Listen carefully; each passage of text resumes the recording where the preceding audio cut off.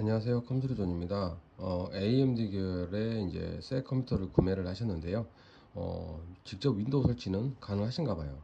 그런데 문제는 이제 USB 메모리가 없으셔서 어, 그냥 차라리 맡긴다 하시고 어, 출장을 부르셨어요.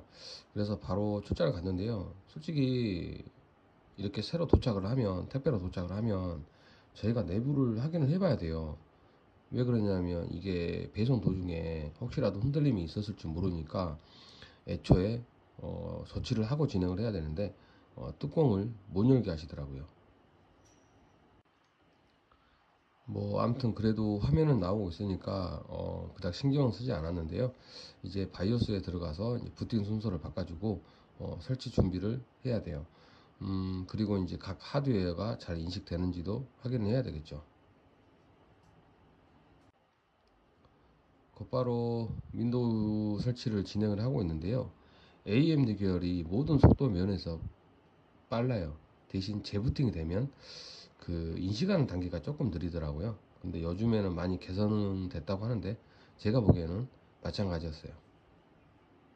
요즘 메인보드는 자체적으로 이제 그 리퍼, recovery를 제공을 해요.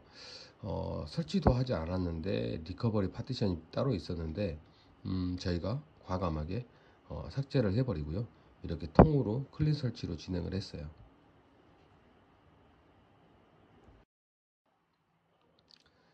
시간적 여유가 조금 있어서 이제 주변기기를 둘러봤는데요. 음, 키보드를 보면 굉장히 매력적이죠. 그리고 어, 이렇게 태블릿이나 핸드폰을 올려놓을 수 있는 공간도 제공을 하고 있었는데요.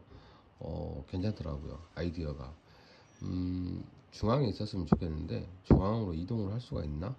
아무튼 새 제품이라 저희가 만지기도 애매했어요.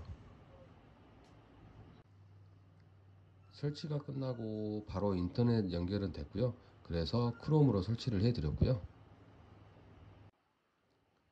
드라이브는 이제 대부분 설치가 되어 있었는데 어, 설치되지 않는 부분은 이렇게 제조사 홈페이지에 방문을 해서 어, 다운로드해서 설치를 해드렸어요. 인텔 같은 경우는 기본적인 드라이버는 다 설치가 되는데 음, AMD 같은 경우는 조금 그렇죠. 어, 마찬가지로 수동 업데이트를 통해서 설치가 가능해요. 어, 왜 저 부분을 깜빡했지? 음, 우선은 일일이 현장에서는 급하다 보니까 어, 빨리빨리 진행을 하셨나 봐요. 우선은 위에 있는 세 가지 느낌표 뜬 드라이버는 언제라도 쉽게 업데이트로 설치가 가능한 부분이에요. 아니면 그 AMD 만능 칩셋 칩, 칩이 있어요. 그 인텔처럼 어, 그거를 설치하게 되면 이 메인보드에서는 다 설치가 되겠죠.